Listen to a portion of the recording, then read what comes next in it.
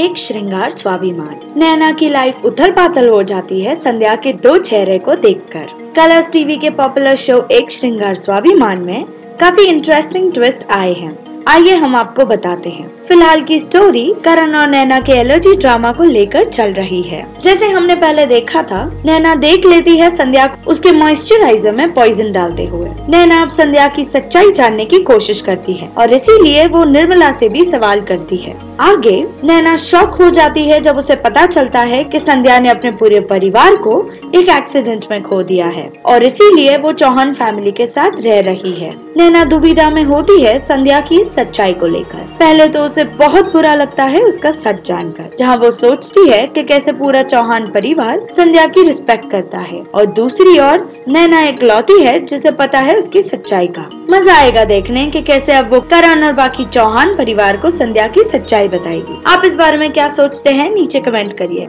और ऐसी चटपटी खबरें जानने के लिए सब्सक्राइब करें हमारा channel TV prime time Hindi